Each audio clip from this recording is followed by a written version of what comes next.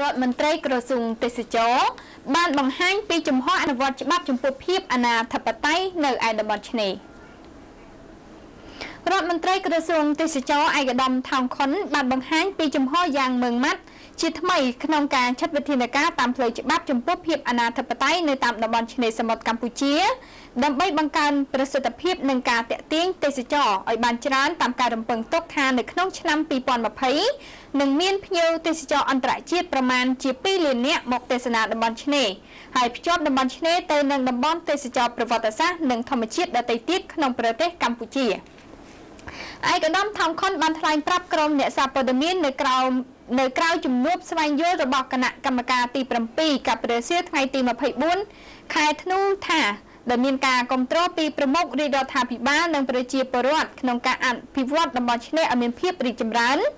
ក្រសួងទេសចរនឹងមានវិធានការយ៉ាងម៉ឺងម៉ាត់ដោះស្រាយតាមផ្លូវច្បាប់ចំពោះសំណង់របងរនាំងនិងសំណង់អនាធិបតេយ្យនៅតាមតំបន់ឆ្នេរ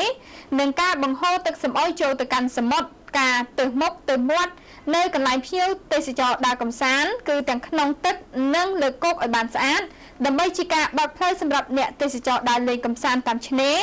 ដែលទុកចម្ងាយ50ម៉ែត្រពីចិញ្ចើមឆ្នេរគឺមិនមានឯកជនណាមួយមានសិទ្ធិកាន់កាប់នោះទេព្រោះជាដីជាដីសាធារណៈរបស់រដ្ឋហើយរដ្ឋធ្វើការសំណូមពរឲ្យប្រជាជនជាអ្នកគ្រប់គ្រងតែមិនមែនហាមឃាត់មិនឲ្យប្រជាជនចេញចូលនោះទេពោលគឺអាចទៅមកចេញចូលលេងកម្សាន្តបានគ្រប់ពេល ឯកឧត្តមបានបន្តថាចំណាត់ការនេះគឺនឹងចាប់ផ្ដើមអនុវត្តពីខែមករាឆ្នាំ2016នេះតទៅដែលក្រសួងទេសចរនឹងរួមសហការជាមួយនឹងក្រសួងស្ថាប័នពាក់ព័ន្ធអាជ្ញាធរដែនដីគ្រប់លំដាប់ថ្នាក់ធ្វើយ៉ាងណាឲ្យការអនុវត្តច្បាប់ក្នុងការដោះស្រាយសំណង់របងនិងលំនៅឋានអនាធិបតេយ្យទាំងនោះឲ្យបានរួចរាល់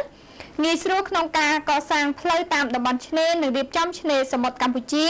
ឲ្យបានស្អាតដូចឆ្នេរសមុទ្រប្រទេសជឿនលឿនដទៃទៀតនៅក្នុងតំបន់និងសកលលោក។